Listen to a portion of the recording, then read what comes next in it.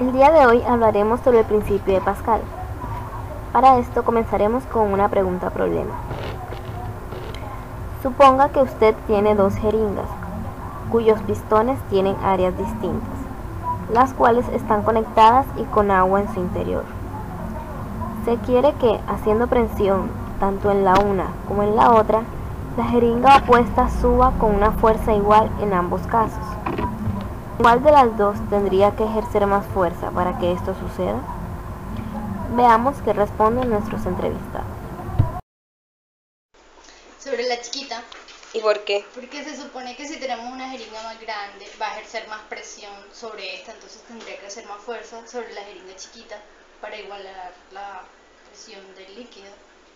Y ya.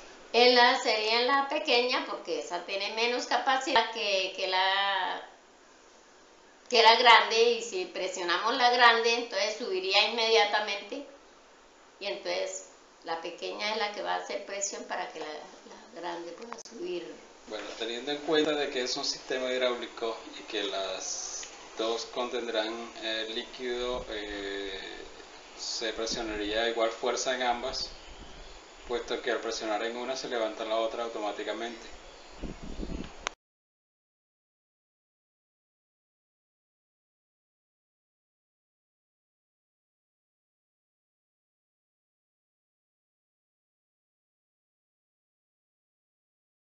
Estamos con la voluntaria, eh, la cual nos va a colaborar con el experimento del día de hoy.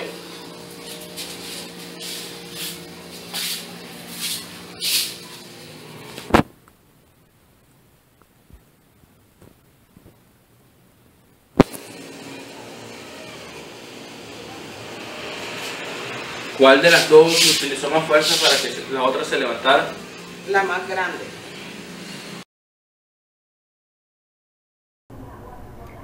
Este fenómeno principio de Pascal, el cual establece que la presión aplicada a un fluido encerrado se transmite sin disminución a todas las partes del fluido y las paredes del recipiente.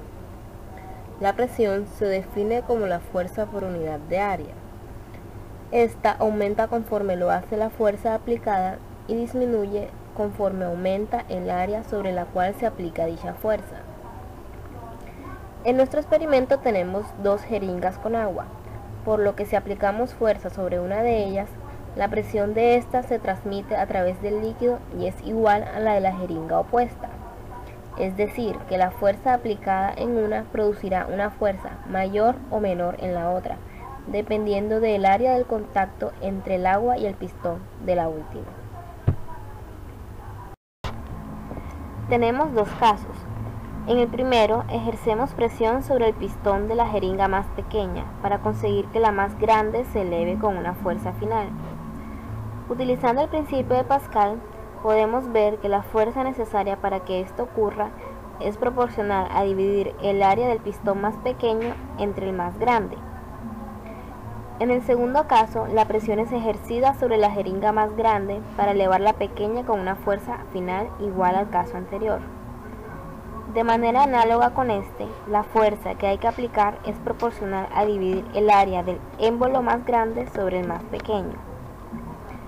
Debido a que el cociente entre el área pequeña sobre la grande es menor que al contrario, la fuerza aplicada en la primera situación debe ser menor que la de la segunda.